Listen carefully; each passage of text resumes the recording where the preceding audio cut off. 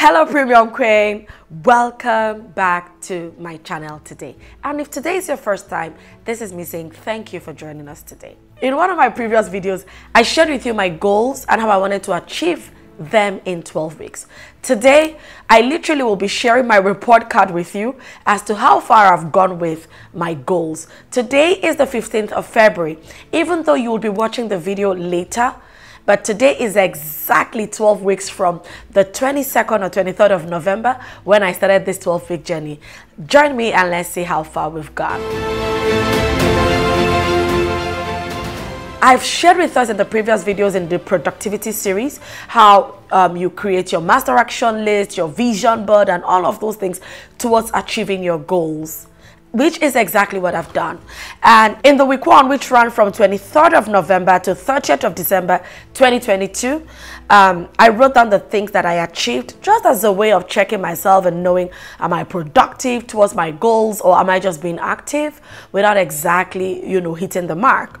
So number one, um, I wrote down, called the lawyer with the brief on the debt repayment plans for my business. Now, even though this wasn't exactly part of my top three goals, the reason this is as important is that um, if you remember also, and I'm going to share that, you know, in the description box when I was sharing my entrepreneurial journey and how scaling too fast, you know, nearly cost the business to fail. I shared how we had taken money from investors and we exactly couldn't repay because of COVID and all of that. But not to bore you, the link will be in the description box. It meant that for us to make progress, right? We needed to communicate with our investors, you know, with the plans and all of those interesting things. And the one single goal for that was who was going to anchor this process. And it was going to be a legal firm. And the reason for me choosing a legal firm was simple to manage the communication professionally and excellently so that as a company based on integrity, we will be communicating in clear terms our desires, right, on how to repay this thing. So even though this was not listed in my top three goals, it was important to me. And I made sure that that happened in the first one week. Number two, I wrote down, I said 95% um, completed on the debt Excel sheet compilation.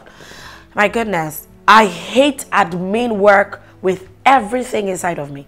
If you literally ask me to write you a letter or a proposal right now, it can take me the next one year. So when I say 95% completed on that Excel sheet compilation, it was me saying, Ijeoma, well done. Keep going. You can do this.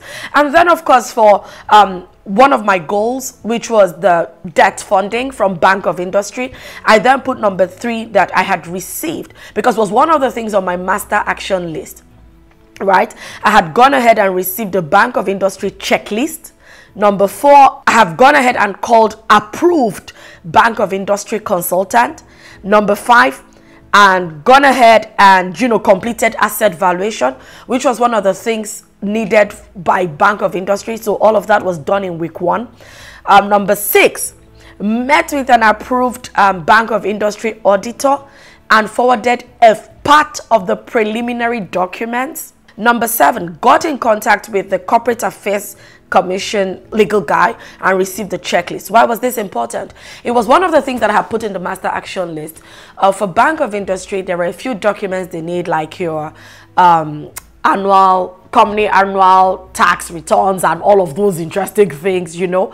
And I needed to get someone to get this done, you know, um, updating our documents with the Corporate Affairs Commissions and all of that. So within that first week of 23rd of November to 30th of December, I also had gotten in, in contact with the um, legal person that would handle that and receive the checklist. And that's why I had that, you know, as what I achieved.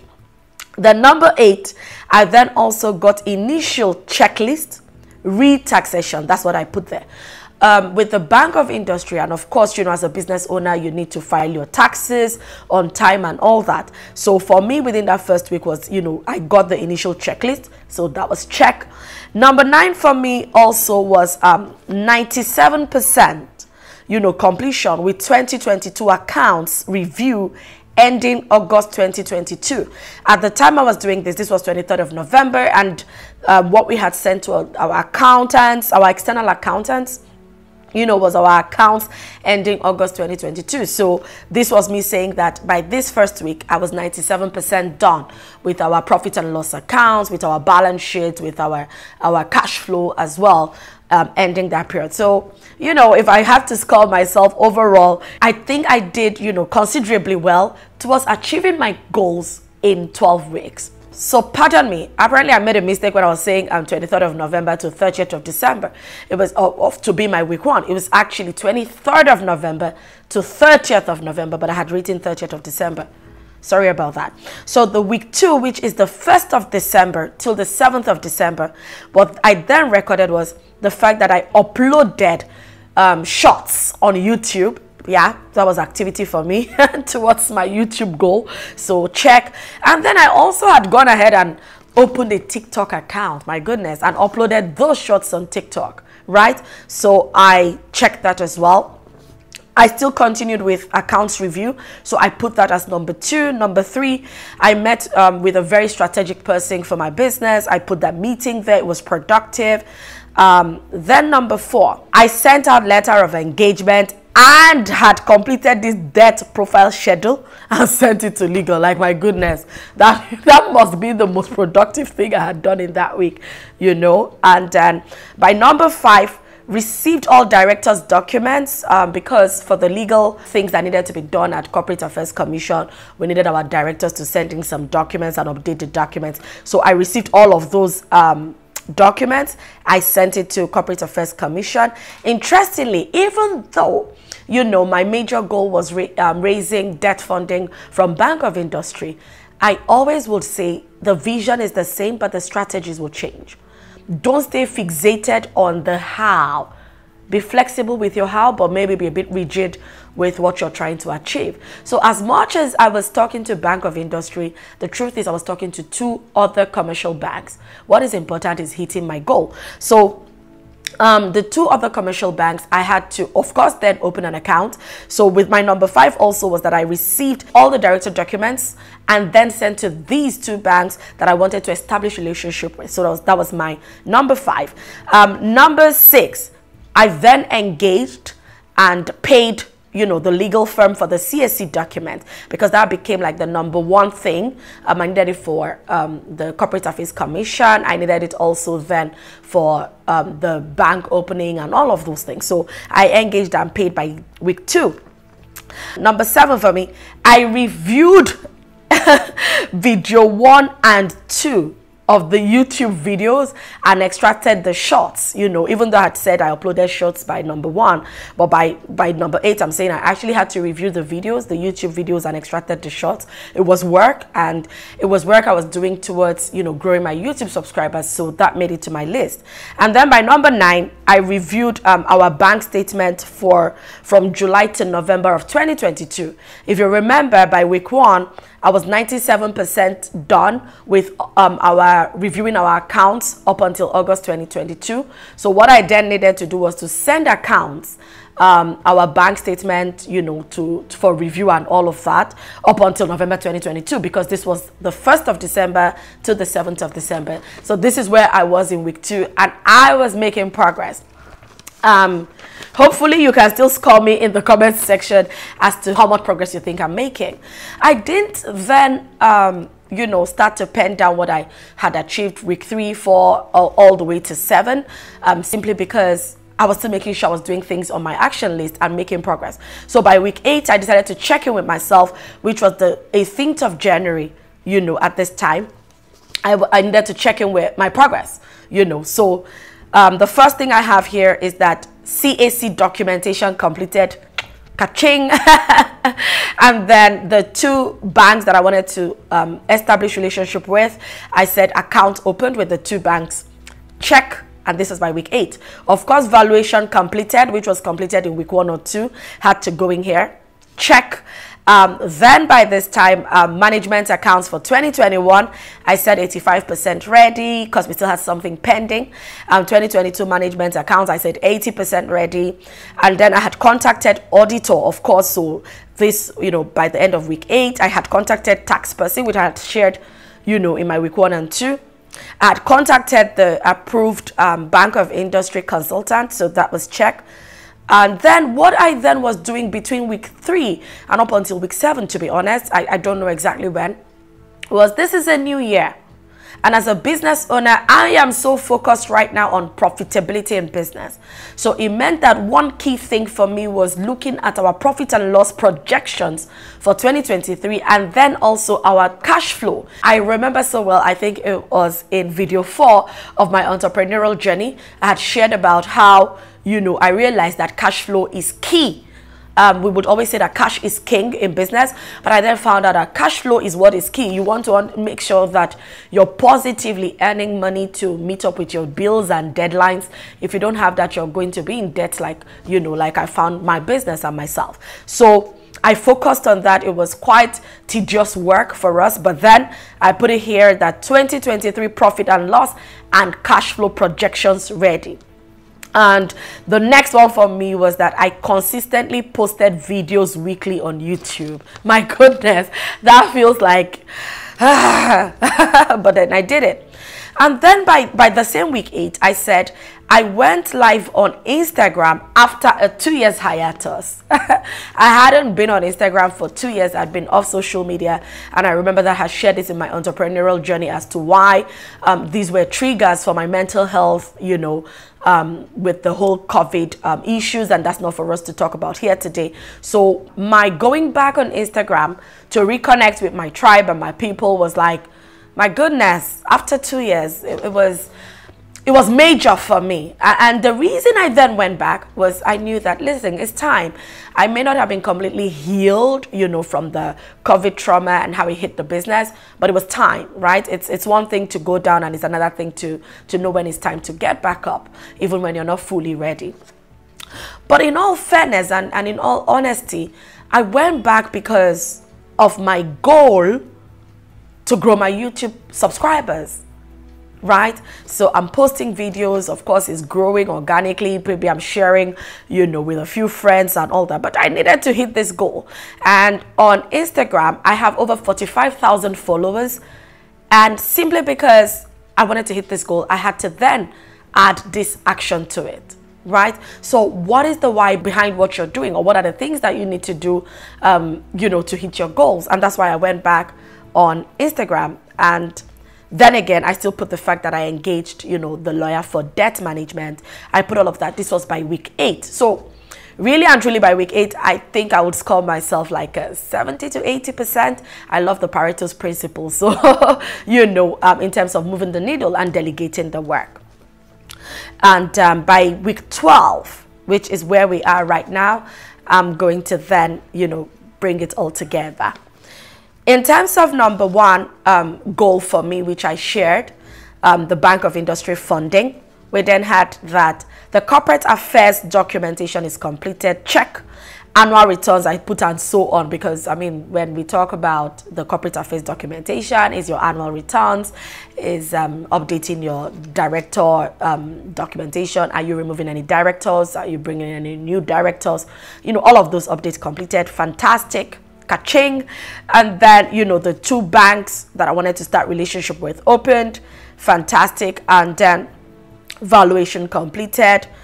And and also in completing my valuation i can tell you it also threw up the fact that i needed to discard some assets. Because what was happening in my profit and loss is that these assets that we were no longer using because we transitioned from frozen product to dry product we were still depreciating them and it was affecting my profitability. And no no no no no. I don't want anything to affect you know my profitability as a business. So that also then threw it up.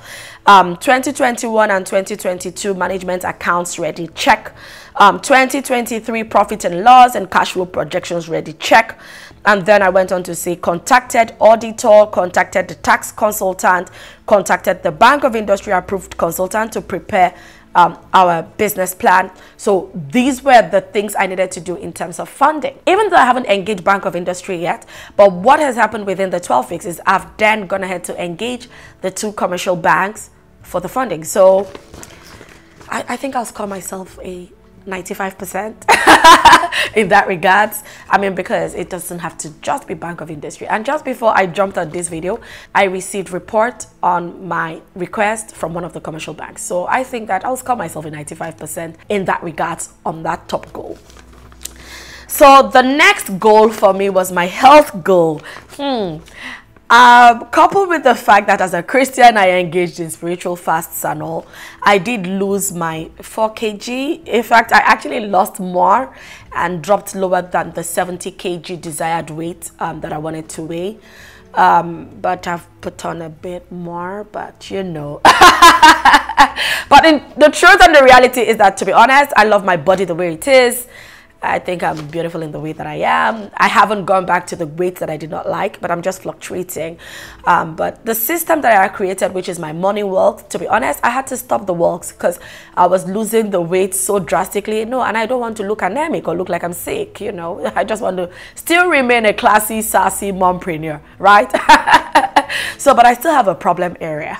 And that's my tummy. My goodness, you know, it's the badge that I have three amazing children. And then this tummy fat, I don't know what to do with it. so that would be, you know, what I would look at in my next 12 weeks. But right now, I think I look pretty the way I am.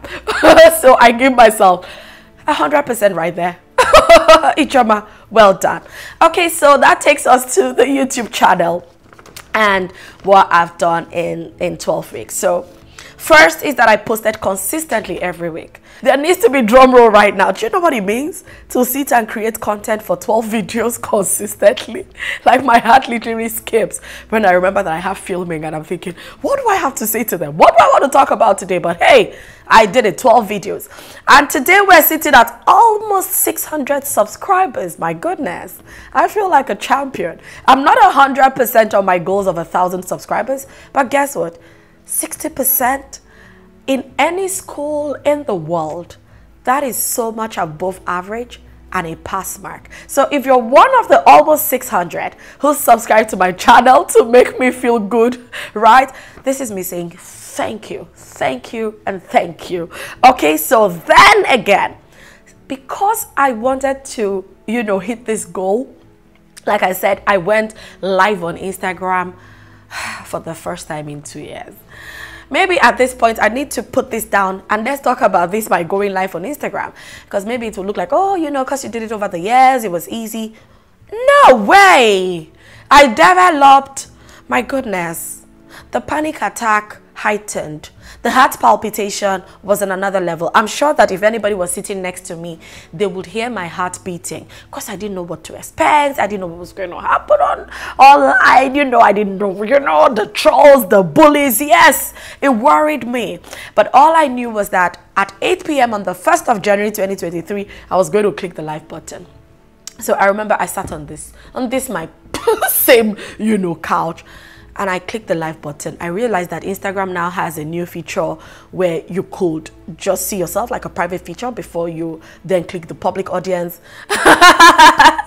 All in preparation, you know, and um, and I remembered going live and disabling the comments. Oh no, my mental health is critical to me. I need to protect my energy you know, my circle, my space. So I, I disabled comments and I just broke down in tears. You would, you would think that I then started talking. No. It was so emotional, you know, reconnecting with my tribe. It was so emotional, you know, coming to do this again. And I literally cried for, to be honest, I think for the first 15 minutes. I had nothing to say or I didn't know what to say. I didn't know I didn't know what to do. So if you're listening to me today, this this will be a cue, you know, to do it afraid, right? Don't worry about how it's going to turn out. Don't focus on excellence. Don't focus on the outcomes. Like focus on your goal, focus on what you want to do and just do it. Like Nike will say, just do it. And I told them why I disabled comments. And I said to them, I don't know that I'm going to stay here for long, but I just wanted to show up because I had promised myself. It was a promise I made myself that I was going to show up. But guess what? I ended up spending, I think, 45 minutes to another hour, you know, just rambling through tears. And the support I got on that video, and you would ask, how did I see it if I disabled comments? Um, so I think there's a question or something tag or something, I don't know. So, you know, but I then at some point put it up and people were cheering me on. Like, hey, how about that? Wow. but I couldn't even, you know, share the video. So it's like if you weren't live on that video, you weren't going to see anything. But that was how I started. And um, every day from that day, except for one week, I didn't go live on Sunday. I have shown up not knowing um, the how, not knowing what to expect. The very next week, the same thing. I disabled comments. I didn't also share the video for anybody to see afterwards. But I think that by the third week, you know, maybe I had now grown some guts and some confidence, you know, and I remember I started again with comments disabled, but I remember just saying, listen, I want to see and hear people. I want to connect. I'm a connector. I love to connect, you know. And that was it. And I, I allowed the comments to roll. And they were beautiful comments, you know, and people sharing me how I had impacted their lives over the years and how they had missed me. And I'm thinking, this is what you could have missed if you didn't show up live again, right? And um, but what that also did for me, you know, was to be honest, I was focused on my goal to reach a thousand subscribers in 12 weeks. Ijeoma, why 1,000? So you want to start a YouTube channel and they tell you that how to monetize your channel is when you have a thousand subscribers and you know 4,000 watch hours and all of that. That's how I set that goal, not because I care about a thousand subscribers, not because you know I care whether it's five or 10. All I know is that if you remember when I read out my dream life to you, that I'm someday going to have a hundred thousand um, subscribers, a positive community you know, on, on, on YouTube. That's actually what I care about. I don't care about a thousand today or 2,000 tomorrow or, you know, what I'm trying to say. I just know it's going to happen someday. It's my dream life.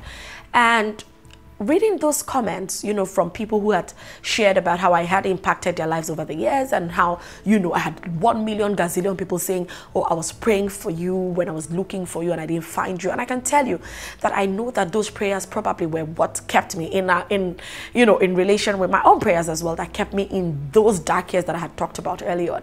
And I realized I didn't care about a thousand subscribers anymore.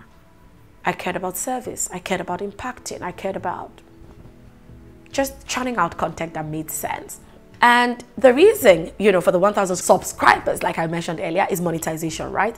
But I have this other business that's Leap to Limitless Global, where the YouTube channel actually falls under. The reason um, we're using my personal name and not the business name is because I'm faith-based. My business is not faith-based, and I would always throw in, you know, the Bible verses and all that. I'm a Christian, and I've not pretended about it. I'm a, I'm a faith-based woman you know. So i didn't want that conflict between you know um, so people of other faith wanting the services of my business Leap to Limitless global and then thinking you know, i just didn't want that conflict. That's why i then started the youtube channel on my name right? So if it's all about monetization and growing then that means that my focus should be on growing my business Leap to Limitless global and not on a thousand subscribers. The last four weeks as well one day I got to work and at that time I'm still focused on this, my 1000 subscribers. And I knew that I had an email list of almost 10,000 people sitting pretty in my email list who received my newsletters. Hey, Ijeoma, how about you reach out to them? And that's exactly what I did. So I sent the first email and I just talked.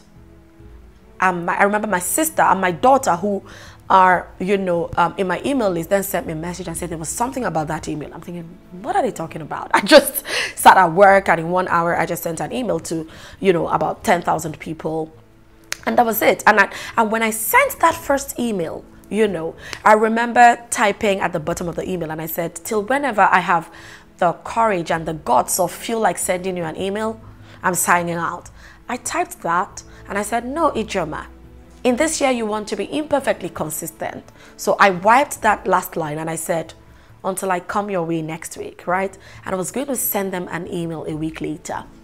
But something about that email and what my, you know, sister and my daughter and a few others said about the email spurred me to action the very next day.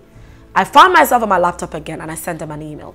I can tell you that from that day, I've literally sent out an email every day, literally like at least four times in the week, I've sent an email. So that goal of a thousand subscribers spurred me, right, to go back on Instagram after two years, spurred me to send an email to my email list. And my goodness, the encomiums. And I shared the link to this YouTube channel. And the growth to the almost 600 subscribers has come from that singular action of every time I upload a video, you know, I talk about it in the email. So I shared the previous videos with them and I have a video right now that has almost a thousand views within 12 weeks. Like how? Right? But that goal, um, driven by my actions and my dream, has gotten me here. That is how I have fared in the last 12 weeks. And I think that if I had to score myself, because maybe if I leave it to you, you will score me a 10%. And no, I, I love myself so much. and I'll score myself. I think that, to be honest, I'll score myself a 95% in my last 12 weeks. And that takes us to the next 12 weeks. My goals haven't changed, literally speaking. I talk about shifting the goalpost. So we haven't gotten the funding yet. Yes, we've sent out all the um, facility requests and all of that, and we haven't gotten our Bank of Industry funding, which of course, you know, is lesser interest rate for business owners. You know, I'm here talking to business owners and entrepreneurs, right? So that goal still comes on my next 12 weeks goal right? And um, the next one, of course, I still want to be a classy, saucy mompreneur talking to you. So even though the goal now is not about uh, losing 4 kg plus again, God, my goodness, it's now about the belly fat. and I, to be honest, don't know how I'm going to do it, but I've written that down that I'm going to at least take walks, you know, four times a week, um, 6,000 steps, which is what I normally will do within an hour. And I would add tummy exercises. Pray for me. That's all I can say. Then, of course, the next goal, which I've then moved from grow my YouTube subscribers to grow my Leap to Limitless business. We're here talking about wealth creation. We're here talking about business. And business is all about exchanging value for money. So for me is growing my Leap to Limitless business. Now, how would I grow it? I need an audience. I need people to know what I'm talking about. I need people to know that, oh, this lady knows what she's talking about and what she's teaching, right? So that takes me to consistently uploading weekly YouTube videos. So now I'm not uploading weekly videos because I want to grow my subscribers. I'm doing it because I want to impact, I want to serve. Um, not everybody would, you know, either buy my programs or buy my books or buy my resources, but my freebies, which of course I'm going to still put the link um, in the description box. The free Limitless Wealth Creation Blueprint is free. Somebody will download it, will get served, will be impacted to take action. Someone will listen to this video and do something with their lives. And, you know, maybe say five years from now, somebody will see me and say, you remember that video that you posted? This was what it made me to do. And that would feel fulfilled right, towards, you know, impacting lives. And um, hire an operations executive is actually the second thing on, on my list, you know, um, that I have to do to grow my business Leap to Limitless Global. And I put there, I said already interviewed. Well, the beautiful thing is that she's sitting here today and her name is Aramide. And today's the end of the 12 weeks. So I haven't even gotten into the next 12 weeks. But because I knew where I was going, I knew the actions, even though I hadn't written it down, to take when you set goals, when the opportunities come up, you're able to see it. She came to interview for an, a completely different role at Bubez Foods. And by the time we were done, I said, I think I have a role for you. Well, she's sitting here, sitting pretty, assisting me today, you know, um, in the with the videos and all of that. So I'm already on the on the go for my next 12 weeks. And the third thing I put down is to sell my online programs to hit my money goals. That's what I'm about in the next 12 weeks. So first is I still need debt funding for my manufacturing business, Bubez Foods Limited. I still need to remain a classy, sassy mompreneur who comes to serve you. So I have to find a way to talk in the tummy exercises so that, you know, I'm as fabulous as ever. And then the third thing for me is to grow my Leap to Limitless business. I know that as always, this video has been impactful. If it has, please share, like, click the subscribe button. And until next time, keep thriving and remember that your dreams are absolutely valid. God bless you.